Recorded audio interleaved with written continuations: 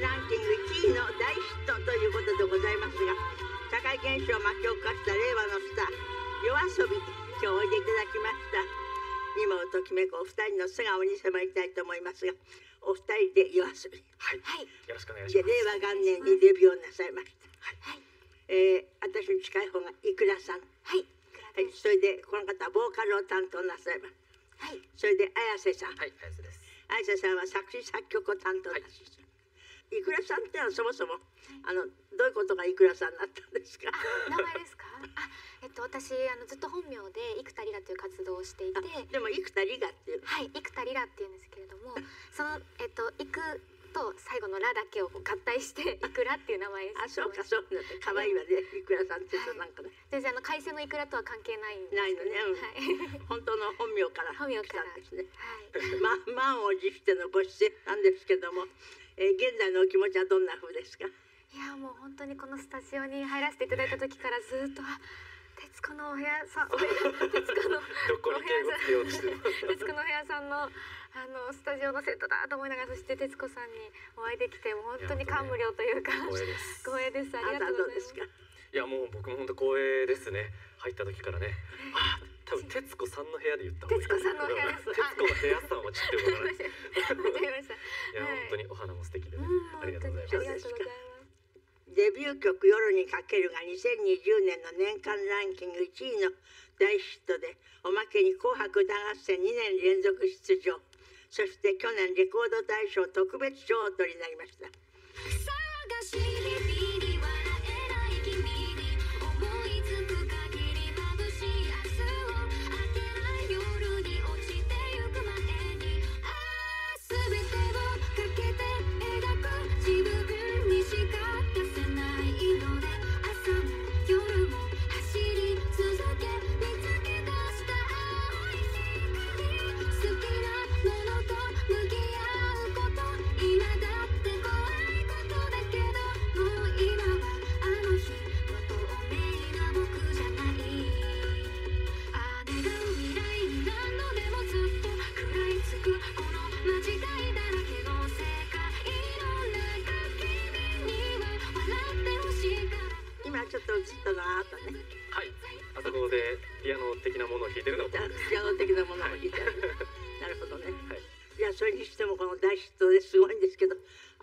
私ちょってみようと思ったんだけどね。なんて言ったらいいのかしら。息継ぎが難しくて ほとんど息ができないっていう感じでついていくのが大変だっていう感じですけどあのおお家の方とか他の方はこのテンポを、えー 素直に受け入れてらっしゃいます。そうですね。うんまあでも本当にそうですね。でもうちの家族とかもやっぱりあの夜にかけるとかもそうだしカラオケでこうチャレンジしてみたけど全然歌えなかったわみたいなのはあやっぱりね。言われますね。はい。あでももうなんかカラオケにもうあるんですか？あります。はい。あそう。私行ってみようかな。カラオケ練習してみようかな。嬉しす。ぎます。嬉しいね。本当？はい。でもなんといってもやっぱり夜にかけるさっきの一番最初、はい。紅白はい。でも歌になった、あれがやっぱりみんな歌いたいと思って真似して歌おうと思ってもみんなダメだっていうことになるんですけどもご家族の反応はどうなんですか？あそうですね。いやでも本当に最初このプロジェクトが始まるっていう段階では本当に誰も家族も含め私自身もあの予想がつかなかったというか小説音楽にするユニットってどんなことだろうっていうふうに思ってたんですけどでもこう実際始まってみていろんなことが巻き起こりながらもなんかだんだんこう理解していってあの小説の音楽にするユニットのボーカルとしてかこう物語を歌う人としてなんかだんだんこう染みついていった感じですね。あなたはどうですか。そうですね。でも本当家族もまあずっと言って僕らも結構音楽としての下積みは長かったので。あそうなの？はい。もう僕もまあいくらもか10年ぐらいはこう経ってそれぞれでそう。はい、僕はバンドをずっとやっててで彼女はこうシンガーソングライターで弾き語り路上でやったりしててっていうのがあってこう出会ってなので夜遊びとしてはすごい本当に出会って2ヶ月でデビューしてっていう感じですけど、音楽の歴はすごく長いのでなるほど。その間もやっぱり家族がすごい心配もしてたと思いますし、でも応援してくれてたのであそうなの、はいよかったですよね。すごい喜んでくれてますね。ね綾瀬さんはご両親が先にあのランキングが何位だよとかって教えてくれた、はい、そうですそうです。もう僕らが知るよりも先にもうあの連絡をくれて、今週も1位だったよみたいなのを言ってくれるので、すごいはい、すごい。お二人とも子供の時から音楽やってらした？そうですね。僕はピアノクラシックピアノずっとやってたので。ああんたあれなんですってね。あなんかすごいピアノの方たちとショパンピアノコンクールに行くような方とお友達だったありしてそうですね。それこそあの去年にえっと、えーショパンコンクールで4位になった小林愛美さんとかは本当同じスクールというか同じ先生のもとでやってま勉強したね、してらっしゃる。はい、うん。やってましたやってましなるほど。たなので結構本気でやってましたねピアノは。ショパンコンクールは特に大変だから。あの小林さん4位っていうのも相当すごい。いや本当にその通りす。ごいんですよね。はい、いやもう入賞されてるってだけでもうちょっと人知を超えたレベルのところだと思うなるほど。でも、はい。でもあなたは5歳からピアノやってらっしゃって。やってましたね、うんあのおばあちゃんがピアノの先生をやっていたっていうところのきっかけで、あの遊び感覚でやり始めてでなかなか見込みがあるんじゃないっていうふうにこうなって、うん。割とコンクールとか出るようになってって感じですね。あそうなの、はい、コンクールにも出てらして、はい、でまあコンクールでも賞取ったりなんかしてらしたんでしょ？そうですね。はい。やってて。まあでもショパンコンクールのそれこそあの小林愛美さんもそうなんですけど僕は多分当時結構そういうガチガチな国際コンクールとか全国のコンクールとかにも出てたんですけどええ。多分半ば嫌々だったとは思うんですね。やっぱ小学生の時なので、うん。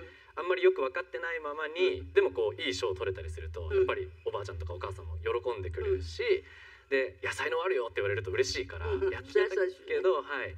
ただ小学校6年生ぐらいの時にじゃあもう本当に本気でピアニストになるためにじゃああの海外にも留学して本気でやっていくのとかどう？っていうのをこう当時の恩師から言われたりして。うんそこでこう初めて本当にそこまで僕はピアノやりたいかなっていうのを子供ながらに考えてで友達と離れ離れになるのも嫌だし海外どんなとこか分かんないから怖いから、ちょっともうそんなにはやれないわと思って、まあ、そこからずるずるっと中学校1年生ぐらいでやめましたねピアノは。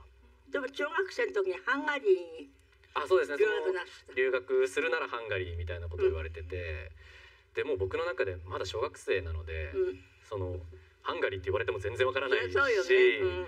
何より「え今じゃあ遊んでる友達たちとはどうするの?」みたいなうんところの方が強かったので、うん。うんそれはいかなかったですね。あ。そういらっしゃらなかったのね、はい。そうですか。あなたは何かやってらしたんですか？音楽のこと。そうですね。あの私はあのもう本当に物心ついた頃からずっと家であの父が弾き語りをしていたりおして父様が。はい父がやっていてなのでもう小さい頃から家庭に音楽がずっとこうあこれがそう流れてたりとか。あそうですよねこの写真がすごい。ファンキーな感じなんですけど、うん。はいずっとなのでもう音楽はこう日常的にずっと溢れていた感じで。なので本当にもう物心ついた時から歌手になりたいってずっと思ってました。ですごいわね。はい、活動中学校ぐらいからオーディションを受けたり、あの路上ライブをしたりとかいろんな活動を始めました。路上ライブもやってたの。はい、やってました。いその時はどうでした？人気はやもう全然本当にあのお友達学校のお友達が知ってるぐらいの感じだったんですけど、でもその頃からやってました。はなるほどねい。いくらさんは音楽の道を志したのはご両親の影響があるんですってあ、そうですね。もうずっとあの家でずっと父が弾き語りしていたのですごいスッと入ってきていたっていうのもありますし特にこう自分がシンガーソングライターになりたいっていうふうに志すきっかけになったのがあの小学校5年生6年生ぐらいの時にあの父があのホワイトデーで母に向けてあの曲をプレゼントしたいって言って。いいわでねなのでそのバレンタインにはその曲の歌詞を自分にプレゼントしてほしいっていうふうにうん。こう言っていて。でそれをこうあの間近でこの2人のやり取りを見てその完成した曲をあの聞いた時にあのわあこんなに自分たちで作る詩とメロディーで作られた楽曲ってこんなにハートフルで温かいものなんだっていうふうに思い,、思いまして。そこから自分でも曲を書いてみようかなっていうふうになりましたじゃあお父様たちの影響は大きいのね。大きいですね。お父様とお母様とお二人のね。はい。そうですか。それでお父様当時単身赴任はい。だったんですって？あそうなんです。あのアメリカにあの小さい頃あの単身赴任していてであの家族も一緒にあの行くことになってなので3歳ぐらいまではアメリカに住んでいたんですけれども、あそう。はい、でその後にあの日本にお父以外は帰ってきてたんですけど、あの父はまだアメリカにいたのでそのホワイトデーとかそのバレンタインデーのその曲のお話っていうのもあの何ですかねある種リモートというかそういう CD が送られてきてお家で聴くみたいなそんな感じでした。なるほどね。はい。ただうちの中でこうこちゃこちゃやってるんじゃなくてはい、海を越えて。海を越えてなるほど。はい。でもそういうことで音楽で家族がつながったっていう感じですかね。はい。時々お父様から曲が届くんですってあのたまに父が作った曲がお家に届くんですけど、この間も新曲ができたから聴いてくれって言って、あの届いてました。でもまだあの聴けてなくて あの1ヶ月ぐらい放置してしまってるんですけど。そうなの？はいちょっと聞いて感想を送りたいなと思ってます。そう。聞いてね、はい。そうですか。でもいずれにしてもお父さんもお母さんもそうやってお互いが大好きでね音楽が。はい。両方で交換し合って一つの曲を作るようなご両親がいらっしゃるってのは随分ラッキーねそうですね、うん。本当に一度もこうあの音楽の道に対してこう止められたりだとか諦めなさいとか言われたこと本当になかったので、うん。本当に恵まれてるなと感じながらすごいいつも応援してもらっているので活動させてもらってます。で今二人でやってらっしゃるんですよはい、二人がこう一緒になったのはどういうきっかけで？はいもうえーっと本当僕らはそれぞれ全く知り合いでもなんでもなかったんですけど、夜遊びっていうのがそもそもこう本当にプロジェクトとして始まったことで、えこう小説を音楽にするっていうユニットみたいなのをやったら面白いんじゃないかっていうのをあの今の担当があのやっているその一般の方が小説をこう投稿できるサイトみたいなところのスタッフをやっていてでその人がこう発案してでじゃあ曲を作る人に「あの綾瀬どう?」っていうのをその時もそのスタッフとも僕は初めましてだったんですけど、ええ声をかけてもらってでそこからあの小説を音楽にするユニットとして僕とじゃあもう一人ボーカルを探さなきゃいけないってなって、あの SNS ですね。もうインスタグラムとかツイッターとかをこう、まあ、たくさん見て、うん。やっぱりそこにこう自分の音楽を上げてるミュージシャンの子たちがこうたくさんいるので。あそう、はい。うん。その中でこう何人がこの子の声いいんじゃないかとか、うん。この子の歌いいねっていう中にいくらがいて、うん。でこのこの子だっていう風になってあのスタッフ伝いで連絡してっていうのが出会いですね。その時初めての出会い。はい初めての出会いですそねれで出会ってから2ヶ月ぐらいでそのさっき言った「夜にかける。はい」あれがあのなんかすごい大ヒットになったっていう。はい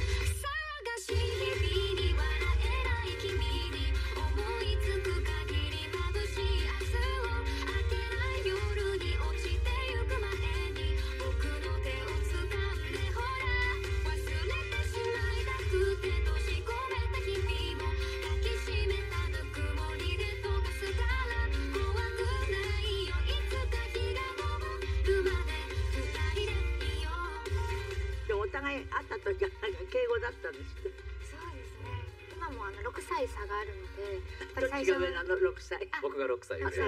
上なのでやっぱり6歳上のあの男性とこううまく一緒にこうやっていけるのかっていうところでの不安があったりしてちょっと最初はあの敬語で結構打ち解けるのにも1年ぐらい多分かかったデビューして1年間ぐらいは全然ずっとギクシャクまでは言わないですけど、うん。ちょっとビジネスっぽい絡み方をしてましたね。初めて会った時はどういう感想をしました？この方ご覧になって。でもやっぱりちょっと最初はどんな方かわからないので、ちょっと怖さはありましたがね年もね6年が。歳離れてるのでただそれは僕もで逆に今僕が27なんですけどで出会った時がまだギリギリ18歳とかでで僕は24とかだったのでそのこの年になって10代の女の子と一緒に何かをやるっていうことに対するなんか何か言ったらセクハラだと思われないかとか そうだわね。そうすごいだからとにかく気持ち悪いやつだとは思われないようにしなきゃみたいなのはありましたね。でまあ夜にかけるっていうのはなんかパソコンで作ったんですねなんか。あそうですね、本当にこう生の楽器をたくさん使ってレコーディングしてっていうよりかはパソコンの中に入ってるソフトを使って作るみたいなので。ほとんどお金あんまり何千円しかかかないそうですね。その実際の制作費に関してはそこまでかかってないですね。もちろんそこからこうミュージックビデオを作ってとかにはもちろんお金はかかってますけど、うん。なので、うん、すごい僕らもまさかこんなことになるとは思ってなかったのでびっくりしましたね。大体あなたその頃寝るところが妹さんのとこの台所に住んでおた恥ずかしい。はいそうなんですよね。本当？本当ですね。もうとにかくお金がなかったので,、ええ。で当時はまだあのしそのバンドをやってた時で、うん。バンドでボーカルをやりながらでもバンドうまくいかなくてバイトしながらっていうような生活だったんですけど、であの一回体調を崩しちゃいましてバンド時代の時に。で一回実家が山口なんですけど、うん。山口に帰ってこう療養して、うん。でまた東京に戻りたいんだけれどももう療養するために当時住んでたお部屋もこう引き払っちゃったしお金も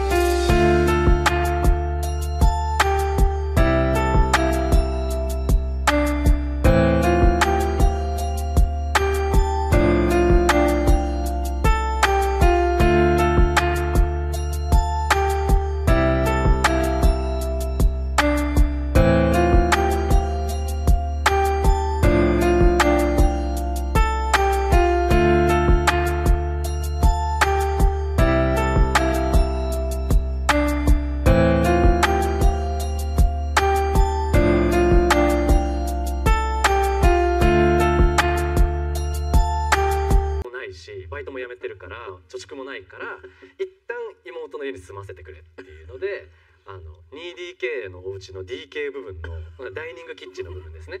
に本当にこたつテーブルみたいなのがポンって置いてある。本当に僕の生活スペースこのテーブルぐらいしかなかったですね。そういうところで生活しながら曲は作ってましでも曲は作ってたの。た作ってましたね。あなたはどういう生活だったんですか？はい、私はもうずっとこう一人でソロでシンガーソングライターとして活動していたので学校と両立しながらライブを行ったりそれこそまだ路上ライブをやっていたりしましたねじゃあこの歌がヒットするまではただなんとなくそういうふうに一人でやってたっていう感じ。そうですね。もうプロ目指してずっとライブしてたっていう感じですね。曲がヒットした時の気持ちはどんなでした？まあでも本当にもちろんめちゃめちゃ嬉しかったんですけど驚きもやっぱり多かったですね。ただあのさっきも言ったように本当下積みがやっぱりお互いに長かったのでなんかあのいろんなタイミングは重なってるしすごい運にも恵まれてるなとは思うんですけどでもなんか偶然というよりかはこう自分たちが頑張ってやってきたことによるこう必然でなんかこれがこういうことになれたんじゃないかなとは思うので、うん、すごく嬉しいですね。でもあれですよねあの私歌ってみようと思ったけどどうも歌えなかったっていうあの短い間によくこんなにいっぱい詰め込めると思う文章が 文章がそうですね。小説みたいに入ってるじゃない、ですね。まああの、まあ、小説を音楽にするユニットだからっていうところの分量ももちろんあるし、やっぱりイクラがめちゃめちゃあの発音が綺麗なんですよね、で滑舌もすごくいいので、ええ。やっぱり全然早回しで歌っても潰れないしライブでやってもしっかり、まあ、めちゃめちゃ練習してくれるので、ええ。すごい肺活量と気合を持ってステージに挑んでくれるのでそうでしょ？助かってますね。開発量やっぱり大きいですかね。ああそうですね。肺活量であったりあとはでもやっぱリズム感ですよね。うん。それは結構練習めちゃめちゃ猛練習していつも臨んでますね、うんでも今あれなんですね直木賞の作家と新たな試みをやってらっしゃる？はい、はい。あの直木賞作家の方々4名の作家の方と、うん。にこう原作の小説を書いていただいて、うん。その小説をもとに音楽を作って4曲リリースしていくっていうのをやってまして、今1曲出てるんですけど楽曲を作る時は僕が一人で全部作ってこう小説を読み込んでどういうふうにこの小説を読んだ時と同じ感覚とまた全然違う見え方とみたいなのを音楽を聴いただけでなるためにはどうしたらいいんだろうみたいなのをこう考えながら作っていってでいくらはいくらで、ね、あの曲小説を先に読むんですけれどもそこで曲が送られてくるまではもう一旦自分でこうどういう風に歌おうかっていうのをすごくたくさんイメージしてどんな声色にしようかとかすごく考えたりするんですけど実際に曲が届いてからかなりこうイメージが違ったりすることもあるのであ綾瀬さんはこの物語をこういう音感でこう届けようと思ったんだなっていうこうことをこう何て言うんですかねこう理解しようとうんしていくとだんだんこう物語がこう肉付きがついてきてそこから自分でどういうニュアンスで歌うかっていうのをコーディネートしていく感じで歌詞カードにびっしりこう書きながらそれを持っていってレコーディングに臨むっていうような感じですね。そうですね。でもいくらさんはもともと大の小説好きだったんですって。あそうですね。あの小説普段からずっと読んでいてあの高校時代もすごく読んでいたのであの自分が本当に好きで読んでいた作家さんとこんな形でご一緒できるっていうのは本当に幸せなことだなと思いながら、すごい嬉しいですね。そうそう。そういうさ作家のものはああのあなたに渡すの。私こういうのがいいんだけどって。いやでもあんまりもともと綾瀬さんがそんなに小説を読まないあそうね。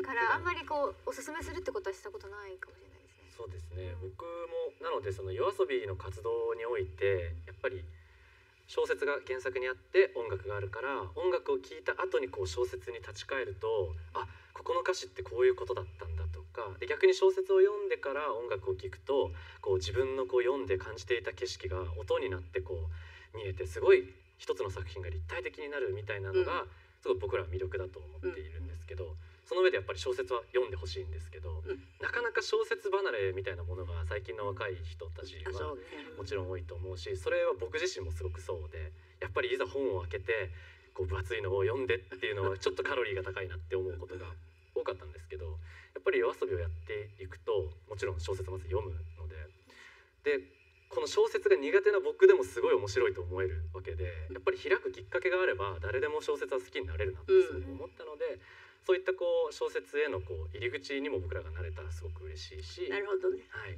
みたいなだから僕は好きな人サイドからのアプローチはできるし僕は小説普段読まない人サイドとして分かるけどちょっと一回読んでみてってできっかけになるんだったら曲聴いてみてっていうようなこうアプローチができるなとは思ってます。なるほどねまあ非常にみんなが文化的になるのはねすごくいいですもんね。今子供の本読まない人多いからね。そうですねそういうことでも本読んでくれればね十分いいと思います。これからの夢ってあります？夢か。そうね。でもやっぱり夜遊びとしてはあの去年初めて12月に、えーお客さんの前で有観客で初めてライブをやらせていただいてそれは武道館で 2days で2日間やらせていただいたんですけどい。や本当に素晴らしい景色で本当に二人で。二人はい。すごい。本。当に感動したんですけど、うんでねいくらももちろんシンガーソングライターとしてはステージには立ってるけど夜遊びのボーカルとしてはもちろん初めてのステージだったので、うん、とにかく緊張しましたね。うんやっぱりなかなかまだまだ状況的にあのすごい大きいところでいっぱいお客さん入れてライブっていうのがなかなか気持ちよくはできないご時世なので、今のこの間にたくさん準備をしてゆくゆくはこう東京以外でもあの全国いろいろツアーも回りたいしゆくゆくは世界にっていうようなこともすごく考えているので、うんあの今は本当にいろんなことを準備する期間だなとは思ってますね。ゆきやさんどうです？そうですねやっぱりライブをもっともっとこうやっていきたいなっていうふうにも思いますしやっぱりこうやってそれぞれのあの軸がある上でそのそれぞれソロで出会ってそこから夜遊びというユニットがあってっていうところがあるのでそのなんだろう私たちはすごくこう本当に遊び心満載にいつも音楽をやらせていただいていてそのなんか楽しく音楽をやるっていうところはずっとこの先何十年ってこう音楽生活がある中で続けていけたらなっていうなんか大きな枠での夢もあります。うん。はい徹子の部屋に出るって話聞いた時はどんなでした？いやもうめちゃめちゃ嬉しかったですよ本当に光栄だし、ね、もちろんすごいもうちっちゃい時から見ていましたしあの親が非常に喜んでおりました。家族が家族が大喜びはい、でした。よろしくお伝えください。よかった。とよろしく。はい、よろしく。ご両親によろしくお伝えください。ありがとうございます。これからますますあのいい曲を作っていただきたいとはい、頑張ります。本当どうもありがとうございました。ありがとうございましたどうも。徹子の部屋はテラサで過去の放送回を配信中。無料見逃し配信はアベマ TVer で。